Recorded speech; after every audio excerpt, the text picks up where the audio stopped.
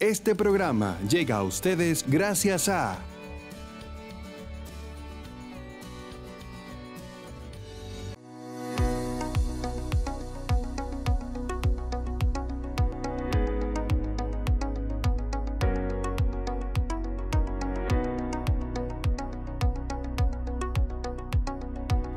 Bienvenidos sean ustedes a Vida y Salud en Comunidad a través de Televida, el canal de la familia, Canal 41. Cortesía de la Fundación Dr. Ramón Tallá y Somos Community Care. Hoy tendremos la participación del doctor César Mota Curiel, un joven pediatra emergenciólogo con quien vamos a conversar sobre diferentes temas muy relevantes e importantes para toda la comunidad. Vamos a revisar con el doctor Mota Curiel las emergencias más comunes, mitos y realidades, el rol y la importancia que tienen las vacunas, cuál es en la consulta de pediatría en la emergencia las manifestaciones clínicas más comunes y qué debemos hacer y qué no debemos hacer.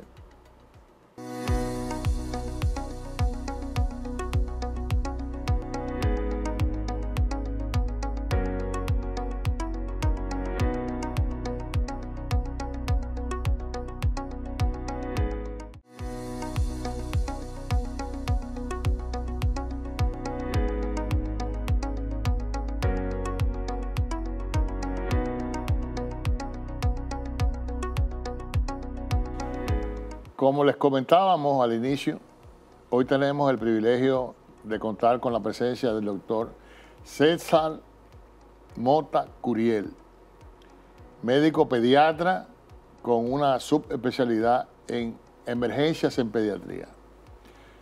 Eh, bienvenido, doctor Mota Curiel. Muchas gracias, gracias por la invitación. Profesor, gracias por la invitación. Eh, muy contento de estar aquí eh, y me siento bendecido ¿verdad? por la oportunidad y espero que este programa sea de provecho para todos que nos están escuchando y sea de bendición. Así va a ser. Eh, la primera parte del programa, César, usualmente es hablando del ser humano. Eh, ¿Dónde naciste? ¿Cuántos hermanos tienes? Eh, ¿Dónde te formaste en, educación inicial, primaria, secundaria? ¿Y, ¿Y, qué te motiva a estudiar medicina? Ah, bueno, eh, muy personal, sí. Eh, bueno, yo nací en San Pedro de Macorís. Eh, Tú eres serie 23. Serie 23. Eh, siempre con la esperanza siempre puesta, eso es muy característico de la estrellita. Sí. y, ya me vine a, la capital con mi familia bien chiquitico y entonces incursé pues el colegio aquí a la edad de los 7 años en el Colegio San Martín de Porres, donde hice mi primaria, secundaria y después ingresé a la Universidad Iberoamericana a estudiar medicina.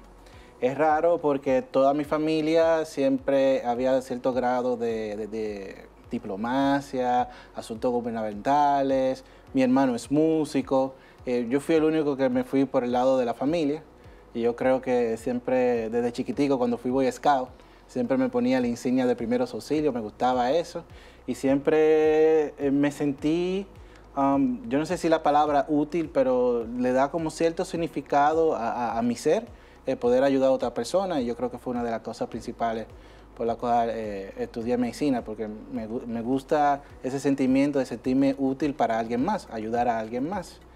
Luego de ahí hice pasantía en Plaza de la Salud, que ahí fue donde comenzó la, la medicina de emergencia y la medicina de pediatría a enamorarme, porque cuando yo estudié eh, medicina en UNIBE, yo quería ser ortopeda.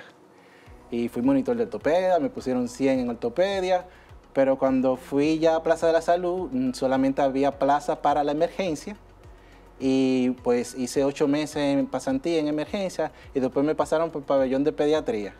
Y como que yo dije esas dos combinaciones, y oye, pero esto es algo que, que a mí me gusta mucho. Y tuve la dicha y, y, la, y me siento muy honrado de que pude entonces concursar y entrar al hospital Robert Ricabral. Sabemos que es el principal hospital pediátrico del, país, el primero, a pesar de todas sus dificultades y todos sus retos, es un hospital con personas que dan, eh, que me han enseñado a mí a dar todo por el paciente, a pesar de cualquier situación, ya sea socioeconómica, política, eso no importa, lo más importante es el, paciente. Ahí hice una formación de cuatro años de pediatría, en aquel tiempo era cuatro años, ahora mismo son tres. Y después hice varios entrenamientos en Estados Unidos, en el Cincinnati Children, en Yale, donde se comenzó a hablar sobre el tema de emergencia pediátrica porque no existía. Entonces fui adoptando algunos conceptos, algunos mentores, y ya al, terminar mi formación de pediatra, eh, se crea la primera promoción de emergencia pediátrica del país, donde mi persona y dos compañeros fuimos los primeros, y ahí hemos estado trabajando en el Roberry eh, eh, sobre la atención del paciente que se encuentra en estado crítico en el área de emergencia pediátrica. Es interesante porque la residencia de, pediatría del Hospital Robert Reed es la primera de las residencias en el país, ¿verdad? Sí. De los años 50. Sí, sí, 52 creo. Y, y fíjate cómo, tú sales de la promoción eh, de pediatría del programa de, mayor antigüedad y también sales de una, de una subespecialidad eh, en emergencias en pediatría, en el mismo hospital. o sea, eso habla muy bien de una institución como el Hospital Robert Reed, como tú mencionas, que ha sido un, referente nacional e internacional en lo que a, pediatría se refiere. Eh, la gente a lo mejor no sabe que, César Mota tiene hobbies y, ha practicado, practica deporte, no necesariamente que sea un experto. Pero háblanos un poquito para que los pacientes y el público en general se entere de qué cosas tú haces en tiempo libre, eh, si ha practicado algún deporte, qué idiomas maneja, además del inglés, porque... A, a mí lo, también doy, soy docente y los estudiantes siempre me relajan mucho porque yo hago muchas cosas, pero que me gusta mantenerme activo. Yo creo que esa es la rama mía de, la emergenciología. El emergenciólogo es una persona muy activa. Yo juego básquet, tengo una liga de básquetbol, eh, obviamente una liga tanto añeja porque no puedo moverme con los muchachos del barrio como uno hacía antes, no tiene que cuidar su rodilla y sus manos. Eh, practico alquería del tiro con arco, y, pero lo que a mí me apasiona mucho y, fue la forma que conocí al Señor fue por la música. Yo pertenezco a la parroquia San José Obrero y también voy a la parroquia Buen Pastor y yo soy violinista. Yo estudié violín en el Conservatorio Nacional y siempre me mantuve en el ámbito de la iglesia eh, tocando violín y cantando. He participado con, con, varios ministerios, el Inés, Gerardo Ardenson, y como ya le dije, estoy en Buen Pastor en la misa de las 11, que es muy bonito y le invito a que vayan. Excelente. Eh, el, ser, el ser músico y el tocar un instrumento tan noble eh, e importante como el violín, probablemente me responda la pregunta, pero creo que es una inquietud que todos tenemos ¿Cómo tú manejas los momentos de estrés? ¿Es, la música, el violín, tu amansa guapo o, hay otras estrategias eh, que tú utilizas? No sé, la oración, eh, la meditación. Sí, en, mi rama, que es emergencia y cuidado crítico, eh, uno tiene que aprender o adaptarse al estrés, ¿verdad? Pero si tuviera que darle una respuesta muy sincera, es el sentir de que lo que yo hago, pues hay un propósito que va más allá de, mi propósito humano. Eh, todo mi, caminar dentro de, la, dentro de la medicina, pienso que fue no solamente guiado por Dios, siento que es agradable a Dios, lo cual me, hace a mí entonces tener cierto grado de responsabilidad a la hora de atender a mi paciente.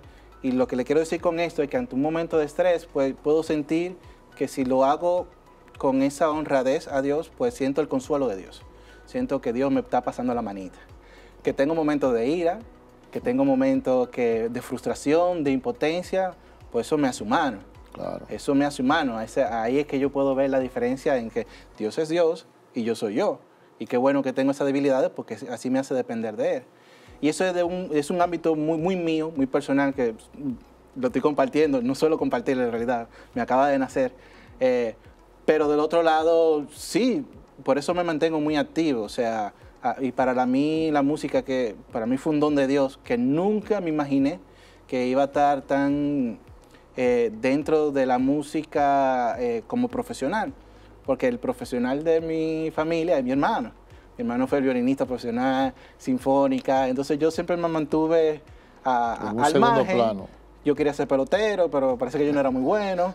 Entonces, pero la música me ayudó muchísimo, me, me, hizo eh, entrar más en, en, cierto hábito de la iglesia y, y en el mismo hospital también en, la pandemia, por ejemplo, eh, gracias al apoyo de Pablo Polanco, hicimos un conciertico en, pleno, en plena pandemia para los niños y eso fue muy genial. Entonces son esas pequeñas cosas que cuando tú tienes un momento de estrés, eh, retos, distracciones, cuando tú recuerdas esas pequeñas cosas, son lo que te hacen como seguir un poco más adelante y siempre caminar hacia adelante, nunca echar ni para atrás ni para coger impulso.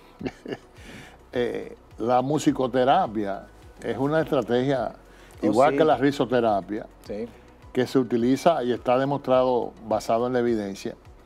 Eh, yo tuve la oportunidad cuando visité en una de las dos ocasiones a Japón de ver en un hospital de niños eh, con problemas terminales eh, cómo la musicoterapia se ejercía allí. Y también logré ver en un par de hospitales de, de pediatría de, niños quemados oh, o, de niños en, cuidados intensivos, cómo la musicoterapia se aplica eh, hoy en día a... Sí, y que va mucho más de, algo meramente romántico, pasional.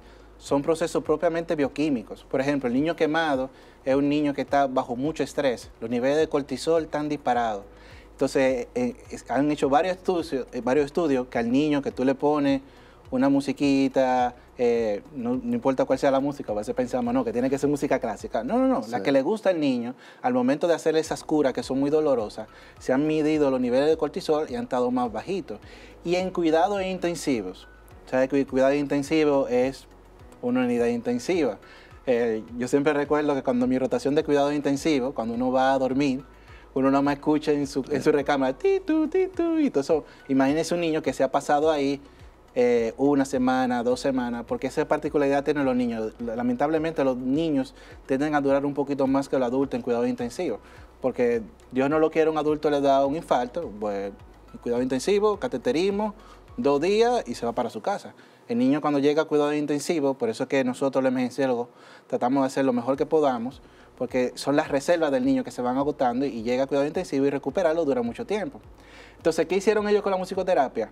¿Cómo responde el niño cuando no tiene ningún estímulo de la música con los, factores hemodinámicos? Los niños que escuchan música mejora la frecuencia cardíaca, mejora la presión arterial y hasta mejora ciertos parámetros respiratorios.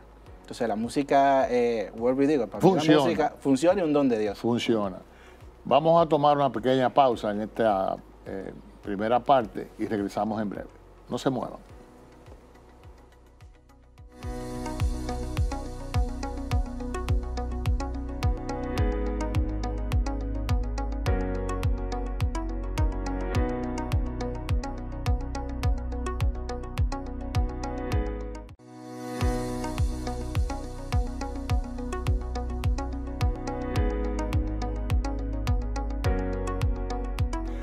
Estamos retomando el conversatorio con el doctor Mota Curiel, médico pediatra emergenciólogo, y hemos hablado en la primera parte sobre quién es César, eh, cuál es su, formación, eh, cuáles son sus hobbies, cuáles son...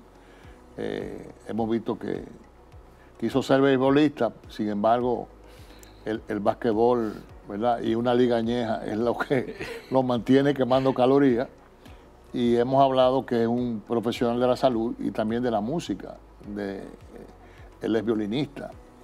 Eh, en ese proceso eh, tuyo de formación, de cuatro años primeros en pediatría y después en, medicina de emergencia, ¿cuáles dirías tú en términos de, primero como pediatra y después como emergenciólogo, que han sido aquellos pacientes o aquellos casos que te llegan ahora mismo a la memoria, que tú pudieras brevemente contarnos y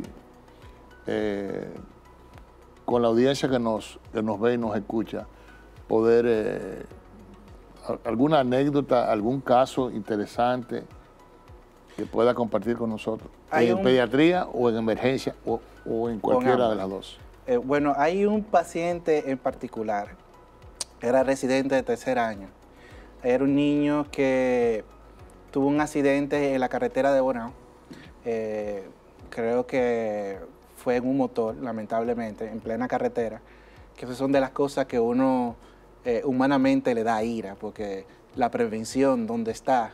Y, la prevención con educación a los padres, ¿dónde está?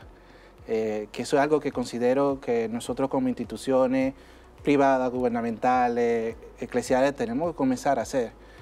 ¿Dónde estaba el casco de ese niño? ¿Dónde estaba el casco del tío con que andaba?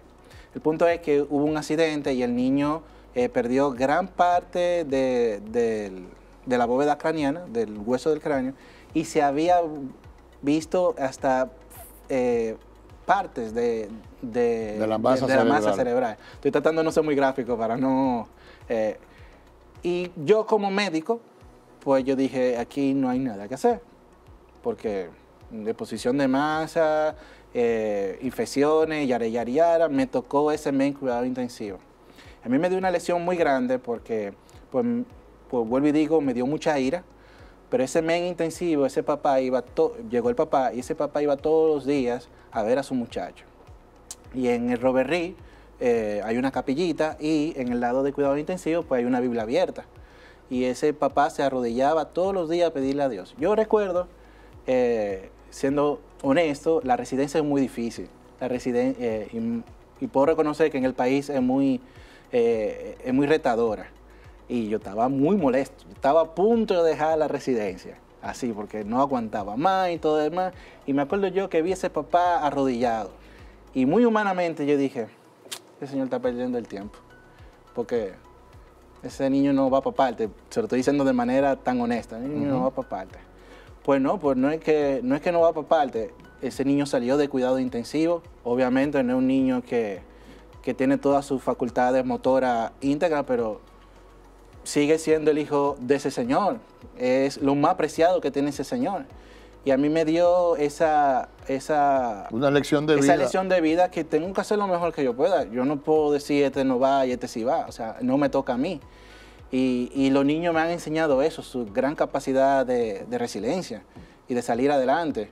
Yo quizá, Dios no quiera, me caigo, me, parto la cabeza aquí, ahí mismo yo quedé. Los adultos somos así, pero los niños no, los niños pueden hacer un hematoma eh, grandísimo, sudural, y tienden a calibrarse ese cerebro, tienden a mejorar.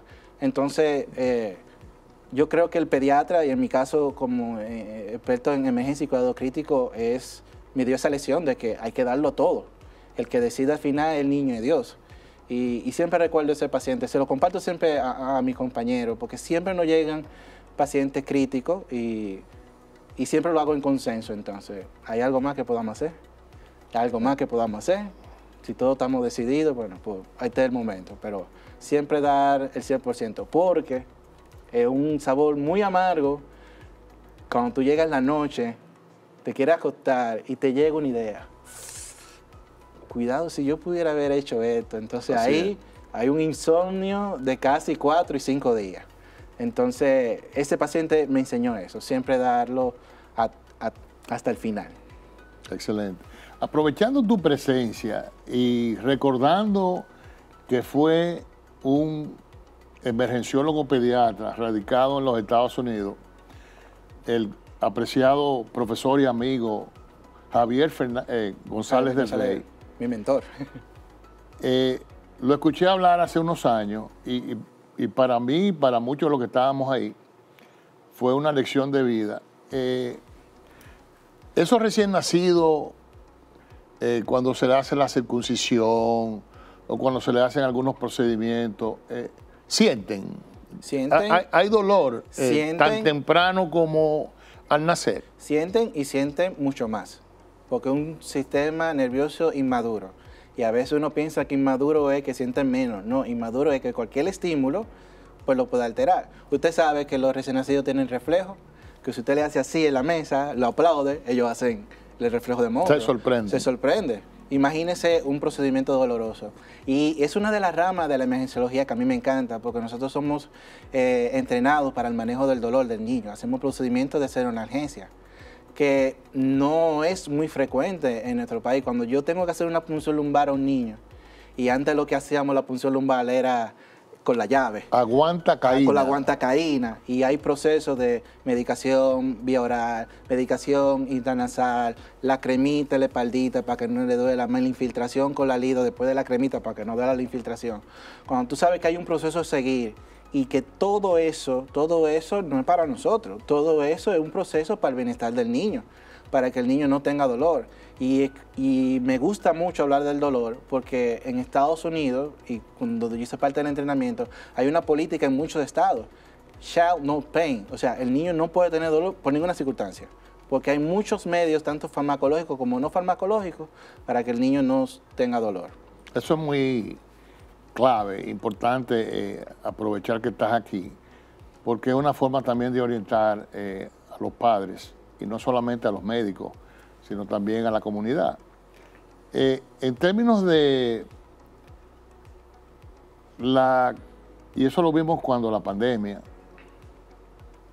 ¿cuán importante puede ser para la salud comunitaria el lavado de las manos? Tú como pediatra, ¿cuántas cosas nosotros pudiéramos evitar si nos laváramos las manos? Bueno, eh, hace, la semana pasada fui invitado por la Sociedad de Venezuela de Emergencia a hablar de sepsis. Y sepsis sigue siendo una de las principales causas de muerte, si no la principal causa de muerte en Latinoamérica. Sabemos que a nivel mundial es el trauma, pero si vamos a Latinoamérica, la sepsis, lo que son las infecciones graves, eso es lo que nos viven eh, ganando la batalla. ¿Y cuáles son esos procesos que nos llevan a la sepsis en el niño? ustedes dirán, bueno, que una bacteria le entró por la sangre. No, son bacterias como eh, la diarrea, son bacterias que son por neumonías, que son por procesos respiratorios. Mucha gente estornuda, no va, no se va la mano, comenzamos a saludar a todo el mundo. Van a visitar al recién nacido, estornudan, le hablan encima, no se lavan las manos. Y, dependiendo del tiempo, ¿verdad? Por ejemplo, nosotros somos un país tropical, tenemos eh, temporadas de enfermedades que son muy importantes, como, como el cólera, por ejemplo. Eso es, la medida principal del cólera es la base de la mano, es el alimento contaminado. Y desen cuenta que cuando tenemos un pequeño brote epidemiológico de ameba y, o mamá de ameba, es eso. Es porque hay un proceso de lavado de manos que no es correcto. Porque en el niño, la comida del niño es manipulada por el adulto. Entonces el adulto tiene que saber muy bien lavarse la mano. El niño lo que va a recoger bacterias propias que están en, el suelo, que a la larga tienen una sensibilidad microbiana muy fácil.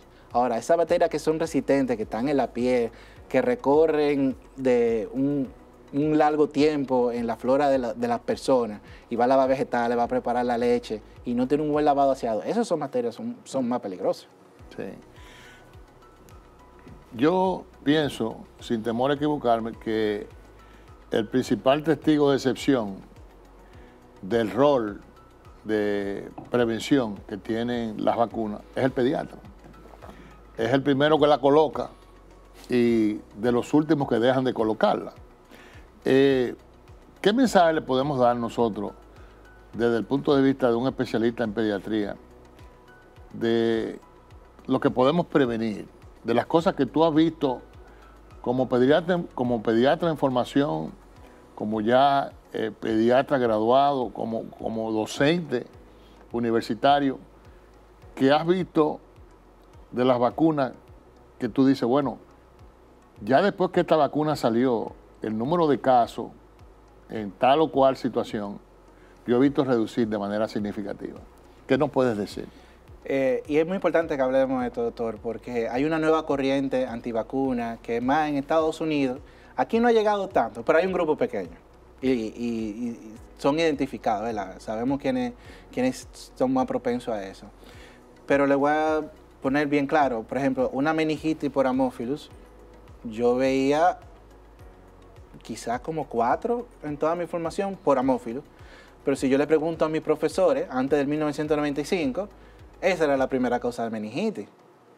Entonces, y, y aquel tiempo, pues la población no era tan grande. Si no tuviéramos esa vacuna, pues hay una gran mayoría de niños que tuvieron secuelados por meningitis.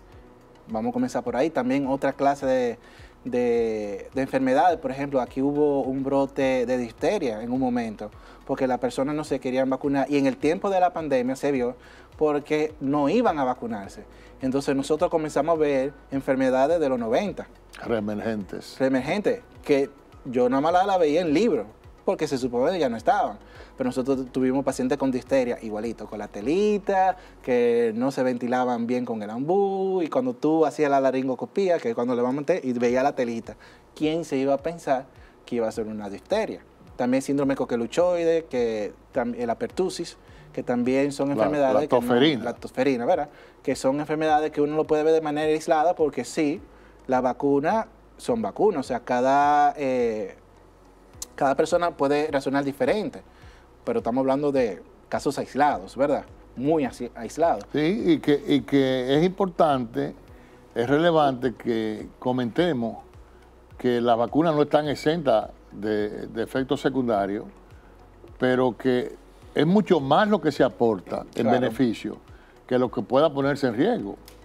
Y pongo dos ejemplos. El casco de protección eh, para el motorista, el ciclista, y el cinturón de seguridad, que cuando nosotros vemos y analizamos la evidencia, es mucho más lo que aporta usarlo que no usarlo. Vamos a, en esta segunda parte del programa, vamos a hacer una, un pequeño receso y retornamos en breve.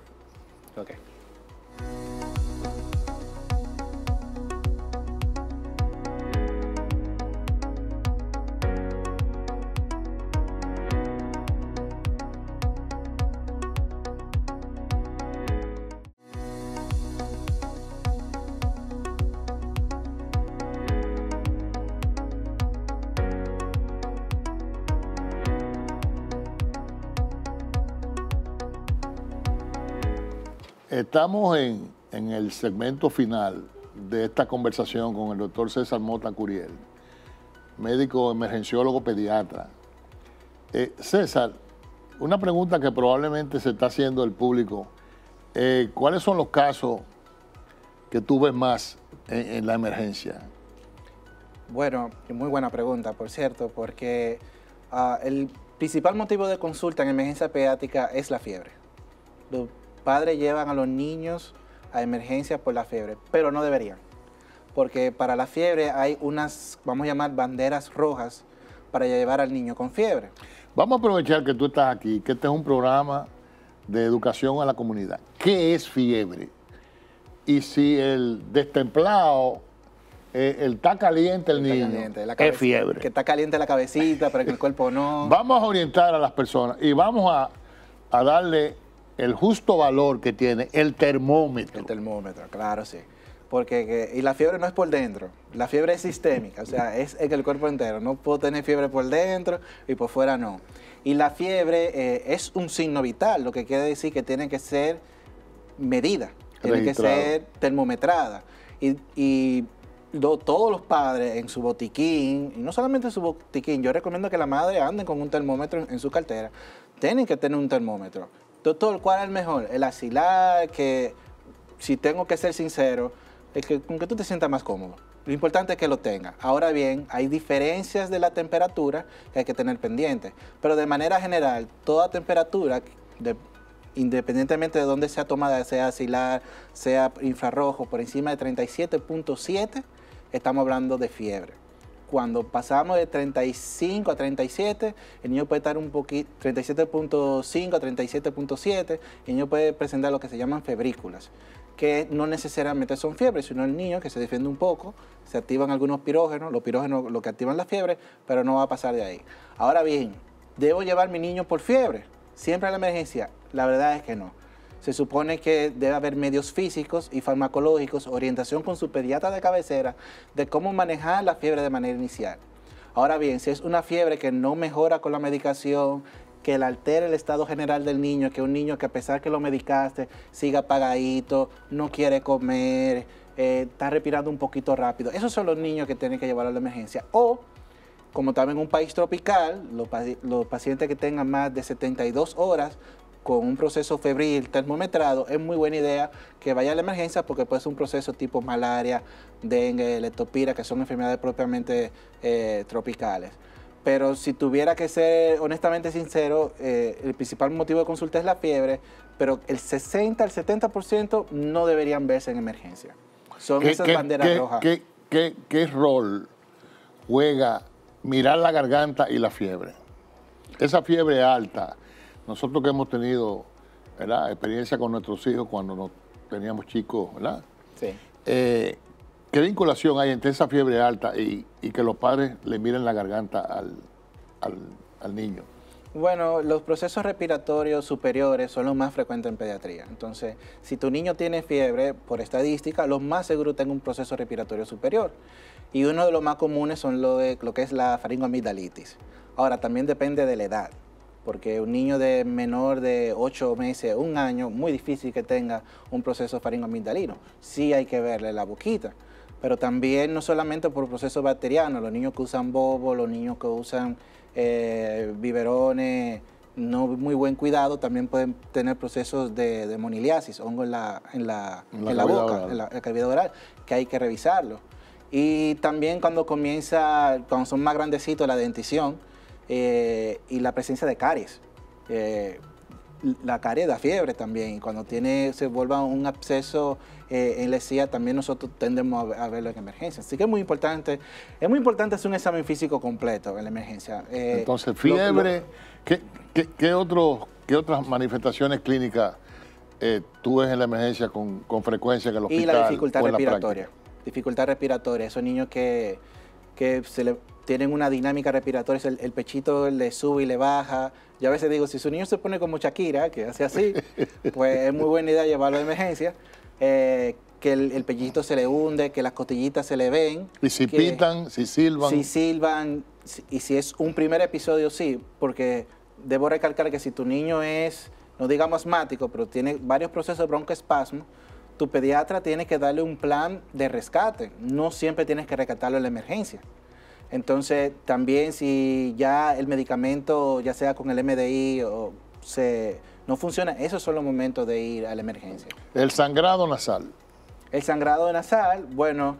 es, común y, qué debemos hacer nosotros como, como miembros de la comunidad. Bueno, eh, uno de los errores que siempre se comete es ponerle el niño boca arriba y que no sangre. Entonces muchas veces esa sangre se puede ir por vía respiratoria o esa sangre lo que va a hacer es tragarse, entonces ya hay otro proceso que no puede eh, eh, confundir, porque bueno, el niño tiene melena, está eh, defecando oscuro, ¿no? Pero que él tuvo un sangradito. pero no, lo que hay que es dejar correr la sangre. si es algo de una malformación aterovenosa, pues estoy muy seguro que van ahí a la emergencia. Pero muchas veces que es por trauma o es si es una porque también se puede sangrar por manera hereditaria. Siempre hay un tío que sangraba por nadie de manera espontánea. Así como espontáneo sangró, así espontáneo debe parar. Pueden utilizar hielo. La compresión nasal. Puede ser compresión nasal, pero tiene que ser boca abajo. No puede ser boca arriba. Porque el niño, acuérdese que las vías respiratorias del niño son bien corticas. Entonces, cualquier elemento puede irse por la vía aérea. Entonces, por colocarlo boca abajo y, boca abajo y hacer presión aquí en lo que uno siente el, durito, después viene el blandito, ahí hay que hacer presión, que ahí hay que estar el plexor. Si el sangrado no para con una compresión de 3 a 5 minutos, entonces es muy buena idea ir a la emergencia. para descartar si tiene una coagulopatía, si ha hecho fiebre, es un indicio de que puede tener dengue, entre otras patologías. La diarrea como causa de, de ir a la emergencia. Bueno, el niño puede hacer varios episodios de evacuaciones diarreicas, pero lo más importante es que el niño se mantenga hidratado. Si el niño puede ir ocho veces en el día, hizo ocho diarreas, pero ha comido bien, se toma su juguito, entonces no es momento de ir a la emergencia, es mantenerlo hidratado y luego hacer un examen de coprológico para ver si tiene alguna bacteria o no. Porque también puede ser una mala digestión y eso es lo bueno de los niños. Los niños cuando algo le cae mal, por ahí mismo pasa y lo botan. ¿Qué, signos eh, pueden los, los televidentes eh, identificar que hacen pensar al, médico que ese niño está deshidratado? Bueno, el niño tiene, el que más llama la atención es la hipoactividad del niño. El niño no se mueve. Se pone lento. Se pone lentecito. Y ahí es que nosotros los pediatras tenemos que ser muy humildes. Porque quien más sabe del niño es mamá y papá. Independientemente de cómo tú lo veas. Si un papá a mí me dice, mire, mi hijo no es así, hasta que se demuestre lo contrario, ese muchacho no es así, ese muchacho está malo. Después, con examen físico y demás, yo puedo, no, mira, mami, él, él está enfermito, pero no está tan mal. Ok. Pero eso es lo primero. Y la, preocupación de los padres está, mm, lo, es, debe ser aceptada. Pero ya cuando tiene esos ojos que no tienen lágrimas, que nosotros llamamos esos ojos hundidos, que son ojos que tú lo ves... Que están atrás. Atrás, atrás. Una boquita seca y, y el y, y, la saliva, y perdón por ser tan gráfico, parece más como si fuera un chicle que, que, que, muy espesa. Y la piel del niño, que todos los niños tienen la piel suavecita, y cuando esa piel se toma eh, tosca y cuando tú le haces el pliegue, ese pliegue se queda un buen ratico, dos, tres segundos, entonces ese es un niño que lo más seguro no va a poder recuperarlo con la vía oral, a pesar que es la mejor, sino hay que llevarlo a la emergencia. El, manejo de un, de un, cuadro diarreico en sentido general eh, desde la casa, sin que el niño tenga vómitos que impida su rehidratación, eh, sigue siendo la, la, la, sala de rehidratación oral. La sala de hidratación oral. Yo de manera muy personal, si al niño no le gusta, pues no se lo dé. Que el niño pueda tolerar algo bioral del jugo que él prefiera porque también hay que pensar que los niños son niños y hay suelos de hidratación oral que son, son muy fuertes. Bueno, a mí me da náusea. Se le puede disfrazar también. Se le puede disfrazar también. Lo que no es muy bueno medicarlo. A veces los padres son muy propensos a darle un dramidón intra, intrarrectal y para los niños no es muy bueno porque el uso constante de estos medicamentos pueden causar eh, síntomas extrapiramidales, o sea, movimiento involuntario en los niños. Entonces, no recomiendo que los padres tengan una medicación eh, no, orientada, al menos que no sea por su pediatra. Eh, eso es clave, o sea, para la diarrea no se da nada para parar la diarrea, lo que se da es compensar lo que el niño ha perdido, básicamente con la sal de rehidratación oral, que es un sobrecito en un litro de agua. sobre hay ciertas eh, casas farmacéuticas que ya lo tienen preparado, que también se lo puede dar. pero lo más importante es otra cosa, porque a veces queremos eh, infundirle todo el líquido, todo el sobrecito, no, es al pasito. No tiene que beberse el vaso de un guglú y eso. El vaso puede durar de 20 a 20 minutos eh, eh, ingiriendo el líquido.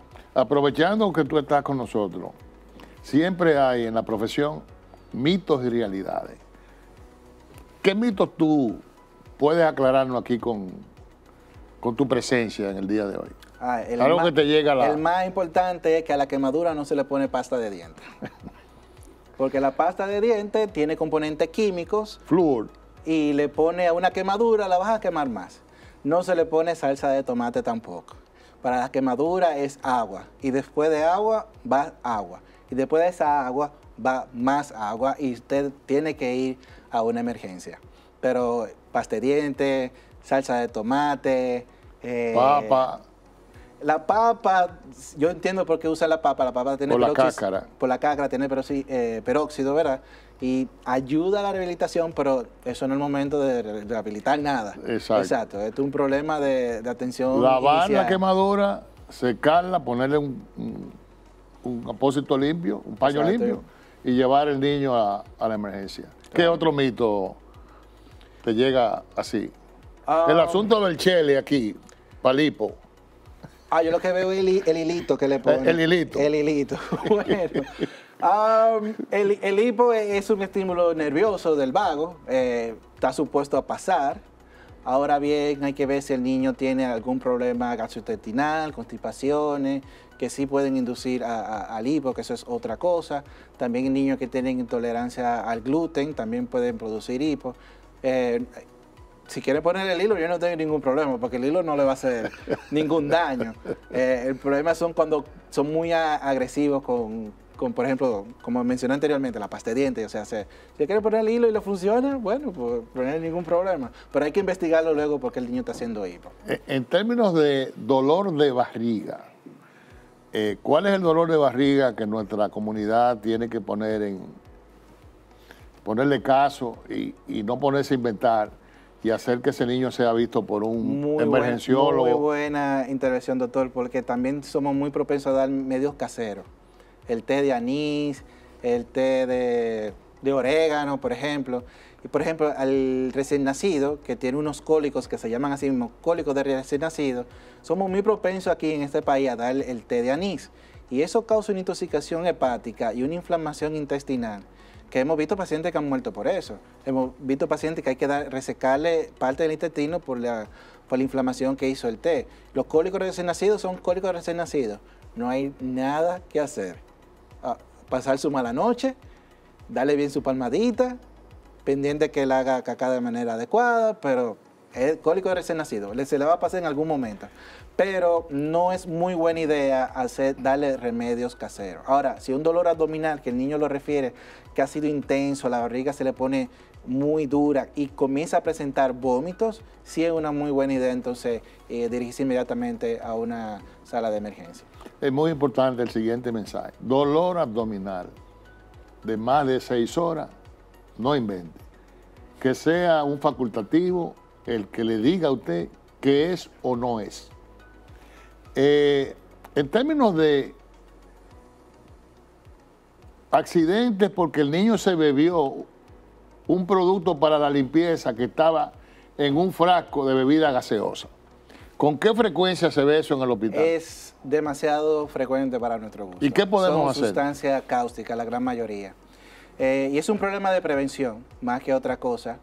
Y lo que sí puedo decir es que no podemos darle leche, no podemos darle magnesio, porque... O sea, que no hay antídoto para eso que se bebió. Para eso que no, tiene que ir a la emergencia. Y lo importante es que no se lo beba. Entonces, si usted va a guardar algún producto para desinfectante o, o cáutico para, para limpiar los baños, eso tiene que colocarlo en un lugar que no tenga acceso. Y, que no sea atractivo para el niño, porque si lo dejan en una botella de Coca-Cola, pues obviamente. Y, y, es terrible porque en, en, en el entrenamiento de un cirujano general o de un emergenciólogo o de un pediatra o de un gastroenterólogo, este tipo de casos son muy, muy dramáticos, porque así como se quema la boquita, se quema, el tubo gastrointestinal y a veces se quema todo el tubo gastrointestinal. Eh, la primera, eh, las primeras porciones del esófago, el estómago. Y eso es, eso es una... Entonces, otra parte que, a veces le inducen el vómito. Entonces, me quemó cuando lo tragué y le induciste el vómito y, lo quemaste otra vez cuando vomitó. Sí. Ese es un caso que hay que llevarlo al hospital. Es un caso que hay que llevarlo al hospital. Y obviamente que lleve lo que se tragó. Porque, también lamentablemente a veces ni saben, doctor, qué fue lo que tienen. O traten de identificar. Tratar de identificar. César, además del Hospital Robert Rick Cabral, eh, ¿dónde te consigue la población? Yo trabajo en Plaza de la Salud, ahí yo trabajo como médico pediatra y soy docente en la Universidad de la UNFU, eh, Pucamaima y y trabajo en el IDOSA. Yo hago traslado de pacientes pediátricos críticos eh, de manera internacional. Eh, trabajo en esos dos centros y estoy a la orden. Plaza de la Salud y Robert Río. ¿Algún mensaje, nos quedan dos minutos, eh, que tú entiendas que no hemos cubierto eh, en esta interesante eh, entrevista? Algo que, quieras comentar que no, que no hemos hecho, no hemos dicho, que tú en, en este par de minutos que nos queda. Sí, yo creo que hablando, porque yo soy pediatra de formación y una especialidad en emergencia, y hablando como pediatra, es que el niño, el niño no es un ATM, no un cajero automático. A veces queremos ir a la emergencia a resolver problemas que debieron ser orientados en una consulta general. Y estamos muy acostumbrados a llevar al niño al pediatra cuando el niño está enfermo. Y el pediatra tiene que ver al niño mínimo por lo menos dos veces al año. Y más las veces que está enfermo supongamos que un niño hace un proceso respiratorio por lo menos tres veces al año, estamos hablando que debe haber un seguimiento eh, de bien, bien cercano con su pediatra. Y veo que en República Dominicana se pierde un poquito eso. Siempre llevamos al niño cuando está enfermito. El médico pediatra, lo hemos dicho en este programa, es un médico primario. Igual que el internista en el adulto, igual que el geriatra en el adulto mayor eh, igual que el, que, el, obstetra también. Son médicos primarios. necesitamos la consulta de cómo se llama a sí mismo. Necesitamos ver el niño sano. Porque ¿cómo yo sé que el niño está enfermo si yo no lo he visto sano? Así es. Entonces tengo que ver mucho el niño, tengo que ver el niño sano. Entonces tenemos que eh, tomar esa conducta de ir a pediatra por lo menos, por lo menos dos veces al año. ¿Cuándo? Sencillo, antes de estar al colegio o antes de irse de vacaciones. Muy bien. Son los dos momentos más propicios para que el niño lo vea un pediatra. Excelente. César, eh, el tiempo en televisión es, es un tirano, se va rápido y sobre todo cuando el conversatorio es así ameno. Te agradezco en nombre de Angie Esteve, que no pudo estar con nosotros aquí, también la, coproductora gracias por la de Vida y Salud en Comunidad y creo que el público está muy satisfecho y muy bien orientado con tus observaciones. Así que... Gracias, para mí fue un honor reencontrarme con usted, fue mi profesor, mi profesor de introducción a la cirugía. Y saquea, por cierto. Señores, eh, hasta la próxima semana.